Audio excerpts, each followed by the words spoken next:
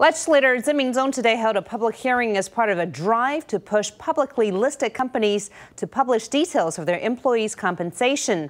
But Tseng faced a pushback from business representatives in attendance who said that the forced implementation of transparency measures could create unsustainable wage competition and cut businesses' flexibility when it comes to hiring.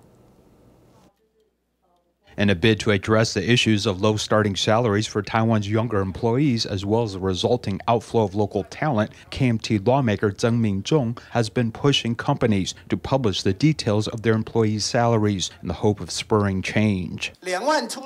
If you have to rent a room in metropolitan Taipei and eat on a monthly salary of just above 20,000 NT dollars, would you be able to sustain any connection to broader society? Nobody would give you a shot. Under existing regulations, businesses are required to publish the salary ranges of senior staff at the general manager position and above. But as for details on salaries and benefits, they're only required to disclose a net sum in their annual reports, covering compensation divided among all other employees. Tseng hopes that increased transparency over salaries could help encourage businesses to raise wages and in turn stem the outflow of talented workers from Taiwan. But business representatives weren't on the same page.